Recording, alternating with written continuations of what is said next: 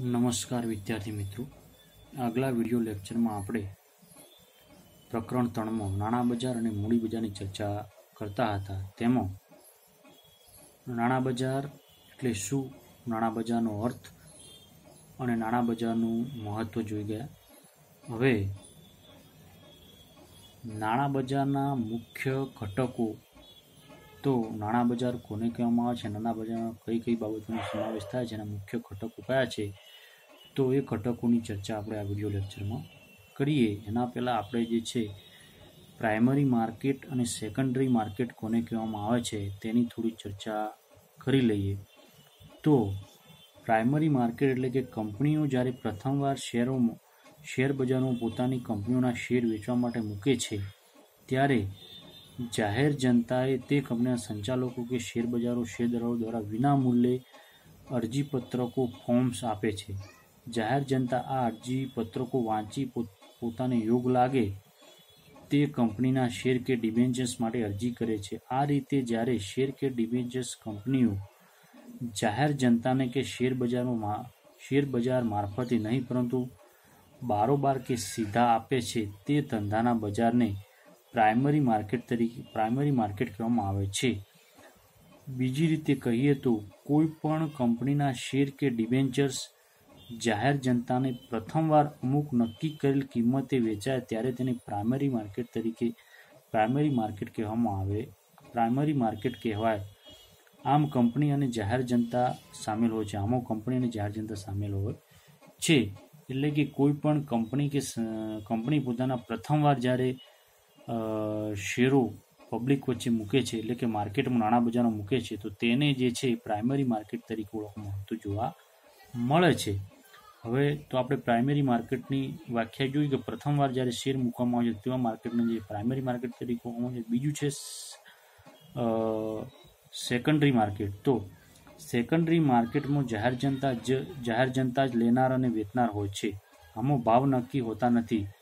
સોદા જે ભાવે પડે છે, તે ભાવે લે વેચ થાય છે. સેકન્ડરી માર્કેટ સોદા બજાર, સોદા શેર બજાર મારફતે થાય છે. એટલે કે પ્રથમવાર જ્યારે શેરો વેચવામાં આવે છે ત્યારે એને પ્રાઇમરી માર્કેટ તરીકે ઓળખવામાં છે. પણ બીજી વાર જ્યારે શેરો વેચવામાં આવે છે ત્યારે તેને સેકન્ડરી માર્કેટ તરીકે ઓળખવામાં આવતું જોવા મળે છે. બરાબર? તો આને પ્રાઇમરી માર્કેટ તરીકે શરૂઆતમાં પ્રથમ શેર વેચવામાં આવે તેને પ્રાઇમરી માર્કેટ તરીકે ઓળખવામાં આવે છે.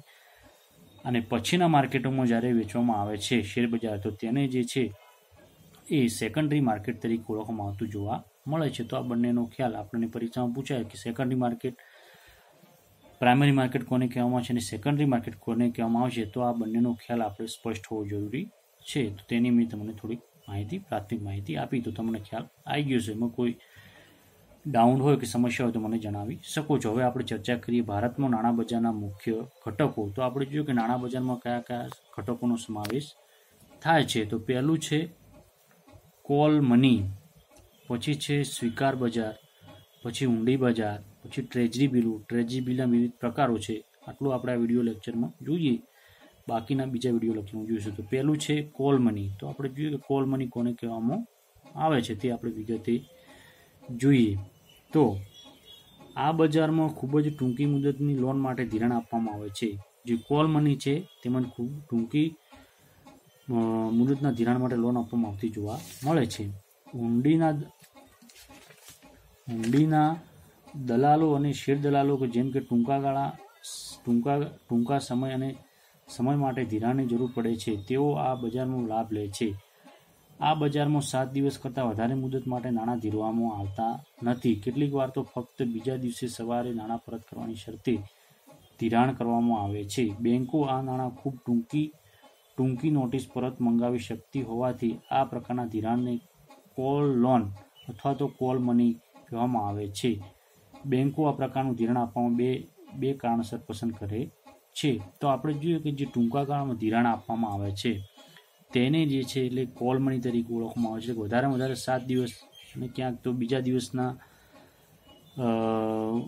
કોલ દ્વારા જે છે એટલે કે બીજા દિવસે જે લઈ શકાય તેવી દ્વારા જે છે કોલ મની તરીકે સ્વીકાર કરવામાં આવતો જોવા મળે છે. તો આપણે જોઈએ કે ટૂંકા ગાળામાં જે ધિરાણ કરવામાં આવે છે, તો તેવા બધા તેવા દલાલોને, શેર દલાલોને જે મની આપવામાં આવે છે, તેને જે છે કોલ મની તરીકે ઓળખવામાં આવતું છે. ઓછામાં ઓછા સાત દિવસ માટે જે છે ટૂંકા ગાળા માટે ધિરાણ આપવામાં આવે છે. તેને જે છે કોલ મની તરીકે ઓળખવામાં આવતું જોવા મળે છે. ત્યારબાદ છે સ્વીકાર બજાર એક્સપેક્ટ માર્કેટ. તો એ જોઈએ તો કે જે આંતરિક આંતરિક વેપાર અને વિદેશી વેપારમાં ઉદ્ભવતી બેન્કોની કબૂલાતો અંગેનું આ બજાર છે. એટલે કે જે વિદેશી વેપાર થાય છે, તેની જે વિદેશી બેંકોમાં જે કબૂલાતો થાય છે આંતરિક વેપાર આંતરિક વેપારી અને વિદેશી વેપારમાંથી ઉદ્ભવતી બેન્કોની એટલે કે આંતરિક વેપાર અને વિદેશી વેપારનો જે બેન્કોનો સમાવેશ થાય છે જે લેવડ દેવડ થાય છે, તેમાં બજારમાં જે છે આ સ્વીકાર બજારનો જે છે સમાવેશ થયેલો જોવા મળે છે. તો આંતરિક વેપાર અને વિદેશી વેપારમાં ઉદ્ભવતી બેન્કોની કબૂલાત આ બજાર છે. જ્યારે કોઈ એક શાખા પર વેચાણ કરવામાં આવે છે, ત્યારે ગ્રાહક ઊંડી સ્વીકાર પડે છે.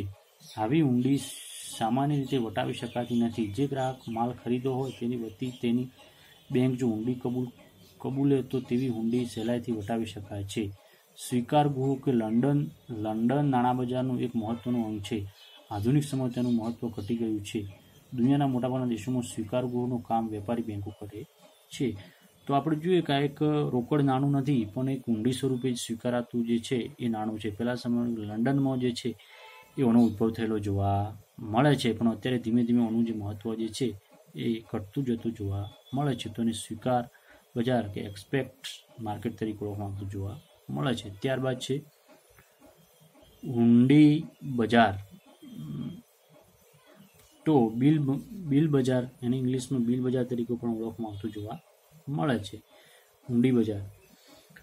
જે બજારમાં ટૂંકી મુદતના બિલો હુંડી બજાર કોને કહેવામાં આવે છે? જે બજારમાં ટૂંકી મુદતના બિલો અને હુંડીઓનું ખરીદ વેચાણ થાય છે, જે બજારમાં ટૂંકી મુદતના બિલો અને હુંડીઓનું ખરીદ વેચાણ થાય છે, તેને ઊંડી બજાર અથવા તો બિલ બજાર કહેવામાં આવે છે.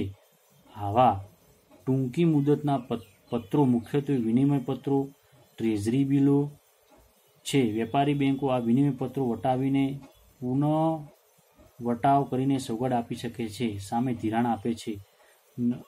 વિનિમય પત્રો અને કોમર્શિયલ પેપરો છે. જ્યારે ટ્રેઝરી બિલો સરકારી પેપરો છે. ટ્રેઝરી બિલો ટૂંકા ગાળાના સરકારી જામીનગીરીઓ છે, જેની સમય અવધિ સામાન્ય રીતે એકાણું દિવસની હોય છે અને જેનું વેચાણ સરકાર વતી મધ્યસ્થ બેંક કરતી જોવા મળે છે. તો ઊંડી બજારમાં આપણે જોઈએ તો કે જે છે એ વિનિમય પત્રો, કોમર્શિયલ પેપરો, ટ્રેઝરી બિલો, એ જે સરકારી હોય છે તે ટ્રેઝરી બિલો, આવા જે ટ્રેઝરી બિલો છે જે એકાણું દિવસના હોય છે, તો આ ટ્રેજી બિલોનો જે છે વિનિમય પત્રો કોમર્શિયલ પેપરો એનો સમાવેશ જે છે, ઊંડી બજાર એટલે કે બિલ માર્કેટમાં થયેલો જોવા મળે છે.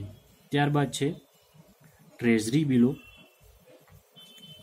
તો આપણે જોઈએ કે ટ્રેઝરી બિલો સરકારે ડિસ્કાઉન્ટ સાથે જે અને સરકારે ડિસ્કાઉન્ટ સાથે અને બાંધી મુદત માટે બહાર પાડેલી promise note notes treasury bill તરીકે ઓળખાય છે. સરકાર જે પણ જે પ્રોમિસ નોટો બહાર પાડે છે સરકાર ડિસ્કાઉન્ટ સાથે અને બાંધી મુદત માટે બહાર પાડેલી પ્રોમી, પ્રોમિસરી નોટસને ટ્રેઝરી બિલ તરીકે ઓળખવામાં આવે છે. એટલે કે સરકાર જે પ્રોમિસ નોટો તરીકે બહાર પાડે છે, તેને ટ્રેઝરી બિલ તરીકે ઓળખવામાં આવે છે.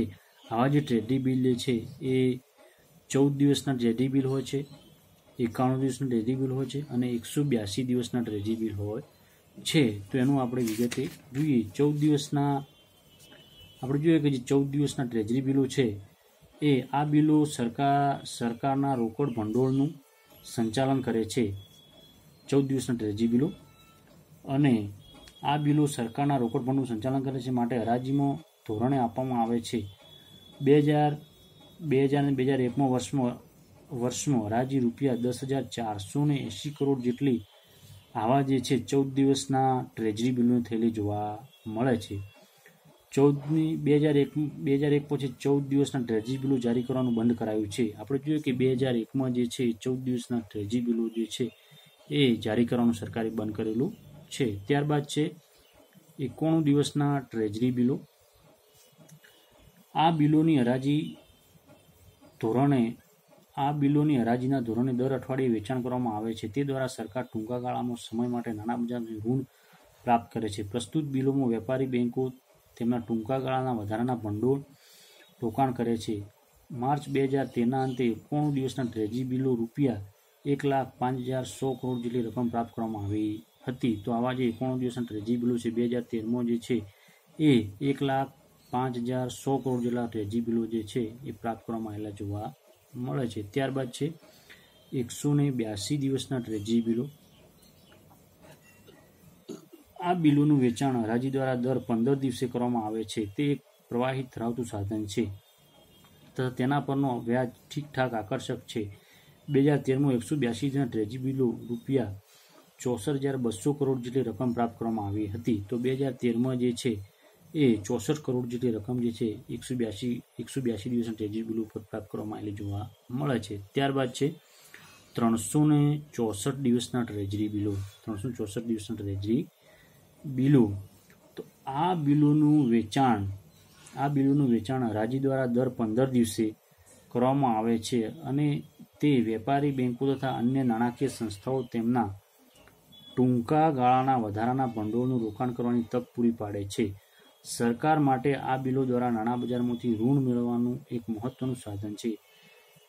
આ રીતે નહીં, પરંતુ તે અગત્યનું સાધન છે. આ બિલો ઉપજ એટલે કે તે વ્યાજના દરો, તેને વ્યાજના દરો પર આપવામાં આવતું જોવા મળે છે. નાણાંની નાણાં બજારની પરિસ્થિતિનું પ્રતિબિંબ વ્યક્ત કરે છે. માર્ચ બે હજાર તેરના અંતે ત્રણસો ને ચોસઠ દિવસના ટ્રેજી બિલો દ્વારા લગભગ એક લાખ ત્રીસ હજાર ચારસો ને ચારસો ને એંસી કરોડ જેટલી રકમ પ્રાપ્ત કરવામાં આવી હતી. આપણે જોઈએ ત્રણસો ને ચોસઠ દિવસના ટ્રેજી બિલો એ સૌથી વધારે મહત્ત્વના છે.